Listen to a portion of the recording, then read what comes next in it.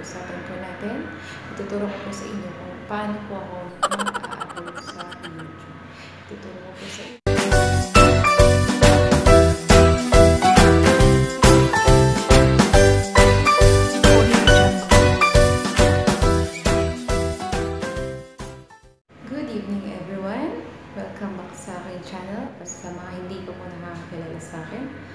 Po si Glenn, isang OFW dito. Hindi pa po nakapag-subscribe at, bago lamang po sa channel ko, pakiclick nyo na po dyan yung subscribe button at ang notification bell para updated kayo sa aking mga bagong videos. Ito, guys, ipapakita ko lang sa inyo kung paano ako mag-upload sa YouTube na ang kinalabasan, high resolution. So, kahit na yung mga videos natin ay hindi kuha sa high res. Ito po'y karanasan habang ako'y gumagawa ng aking channel. So, gusto ko pong i-share sa inyo para kung sino man po yung mga bagong vlogger or bagong YouTuber, may share ko sa inyo kung ano po ba ang mundo ng isang vlogger or YouTuber. Actually, hindi ko po itong ginagawang vlog na to. Ako'y kikita, ginagawa ko itong vlog na to kasi libangan ko. At dito ako masaya, marami akong nai-improve, especially sa mga pag-e-edit, pagbibigay, ng effects, pagbibigay din ng mga kaukulang background music. So, ito guys, pasensahan nyo na po guys, yung mukha ko, hindi na, siguro naman, hindi naman importante yung kagandahan. Ang importante ay yung kaalaman. So, mga po guys, yung unang gawin po natin ay pumunta po tayo sa Google Chrome. Yan, pindutin nyo lang po dyan yung Google Chrome. Pero kapag hindi pa po kayo nakalagin dito sa yan, click ko na po yan. Then, antayin nyo lang po na may lalabas. Pag-upload po pala ng videos natin, kailangan po ay yung magandang resolution para kahit po sinong manonood, eh, gaganahan po siya na manood kahit na. So, ayan na nga po. Lumabas na po yung ating channel. So, ito na nga po. Sampulin ko po kayo ng pag-upload dito sa YouTube. Pero take down note po guys. Sa pag-upload po dito, kailangan po naka-desktop mode siya. Papakita ko lang po. Back po muna tayo. Dito, pipindutin nyo lang po itong 3 dot na to sa taas. And then, pindutin nyo po itong desktop screen. Yan, ito, ito. At then, antayin lang po natin na may lumabas. Pero actually, naka-desktop site na po ako pero no need na. Pero pinapakita ko po lang, ko lang po sa inyo kung paano. Lalabas dito stu, yung studio yung studio YouTube ko po. So ayan, pwede na po kayong mag-upload diyan. Pero ang ginagamit ko po, mas mapapadali po ako doon sa isang desktop. Back po at to home screen. Dito po ako nag-upload. So, sa pag-upload guys, ito medyo zoom in ko lang konti. Ito po guys, makikita nyo po yung arrow na to. Dito lang po kayo mag-touch yung arrow na yon Then, antayin nyo lang po.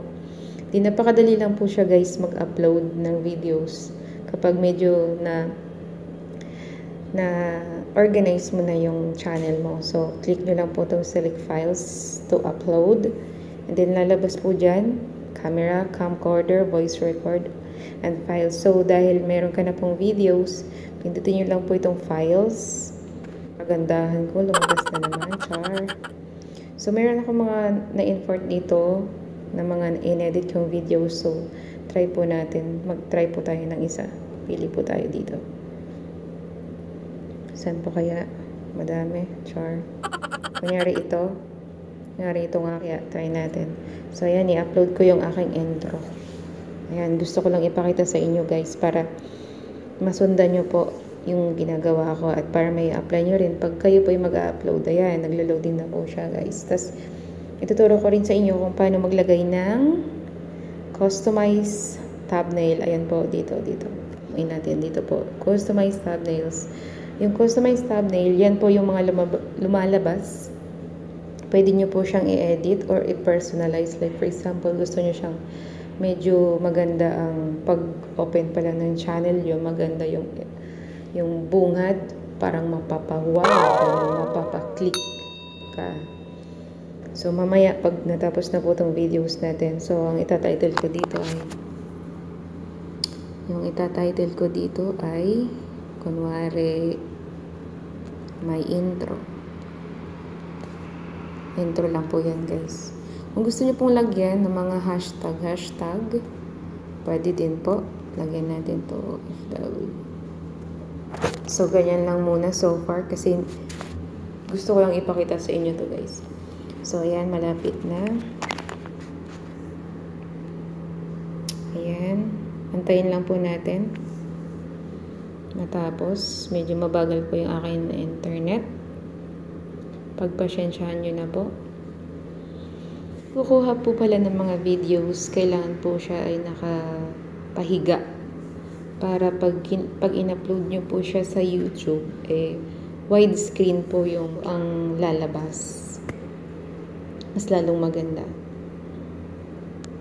So, ayan. 2 minutes pa. Antay lang po tayo. Bakit masyadong matagal yata? Baka mamaya iba yung napindot ko. Antayin po natin lumabas yung kanyang thumbnails na binibig na automatic na lumabas. Dito po yun. Yan, ayan. Video thumbnail. Guys, kapag maganda po yung video, video thumbnail nyo, mas marami pong mag-iinga nyo na mag-click ng videos nyo. So, mas magandang thumbnail, mas lalong maganda. So guys, ito po yung hitsura ng naka-mobile mode. Para po mapapunta po kayo sa desktop mode, i-click nyo po itong nasa taas, yung 3 dot. And then, click nyo po itong desktop. So, yan po yung lalabas.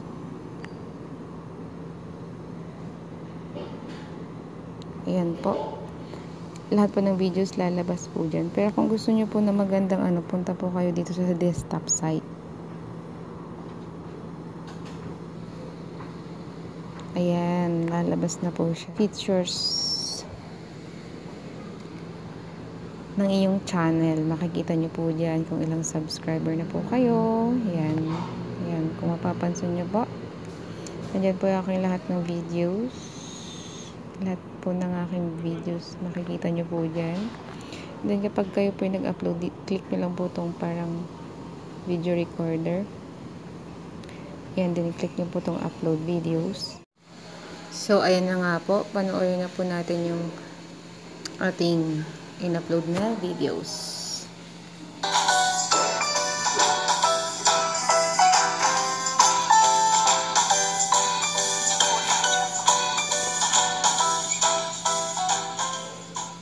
'di ba guys? Ang ganda po niya.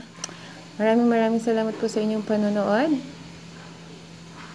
See you next time. Sana may natutunan po kayo sa sa videos na ito. Sa mga gusto pong magtanong, comment down below. Diyan po sa baba. At sa mga gusto pong mag-suggest, nagtatanggap din po ako. Maraming maraming salamat po. Thank you. Bye-bye.